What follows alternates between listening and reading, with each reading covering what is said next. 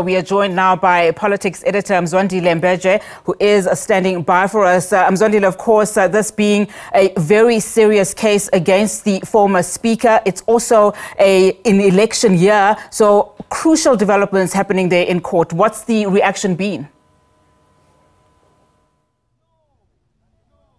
Of course, as the ANC, um, it's very important for you. You are the governing party many of the uh, other issues happening around the country sometimes affect you. We can never not speak about the current situation um, playing itself out in Pretoria.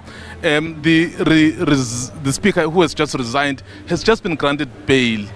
But it's quite interesting, the reaction from the ANC, given that this is one of your most senior members. The, the ANC has received the resignation from Comrade Nosiviwe um, as a speaker as well as a member of parliament. And then, then she also appreciates that uh, she has subjected herself to the processes of the African National Congress. And for that, we need to give that space uh, of uh, all due processes to unfold. We now have to go out.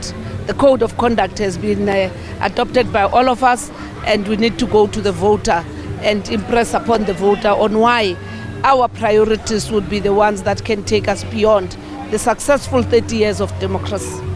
Just on the issue of the speaker, and um, I saw your statement last night. Uh, I must be honest. Personally, I wasn't clear that resignation was it only from Parliament or also from the ANC? Just clarify for us once and for all.